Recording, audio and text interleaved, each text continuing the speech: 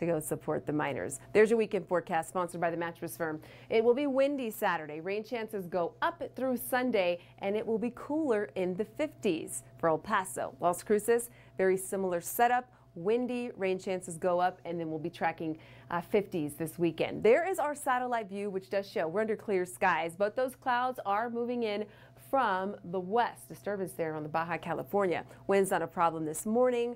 Again, it was windy yesterday, and we're still seeing breezy conditions in Cloudcroft with gusts around 19 miles per hour. We're in the 30s El Paso.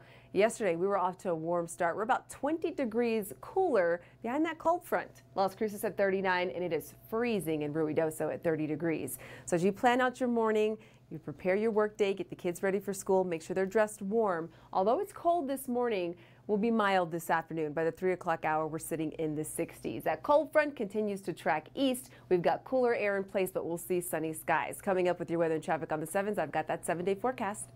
Nicole, thanks so much. Turning now to sports, the NMSU Aggies took on a Power Five a Power Five opponent, Washington State, on the road. The Aggies were riding a three-game win streak, going into the game at eight and two for the season. But the Cougs, they're a tough team out of the Pac-12. Second half, Cougars up 35-22, piling on some more as TJ Bamba drains the three. It was looking like it would be a blowout, but check this out. Less than four minutes to go, the Aggies tie things up. That's Teddy Allen. Then later, the nice pass there to Will McNair, who's fighting and able to get the bucket. Aggies take the lead, nine seconds left in this game. McNair at the free throw line to make it a two possession game, but he misses both. So the Cougars with a chance to tie it up